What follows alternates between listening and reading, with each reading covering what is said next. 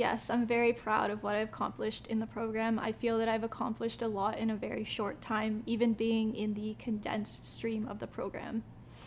I'm proud to be a student at Conestoga College because I know that the education I'm getting is unmatched.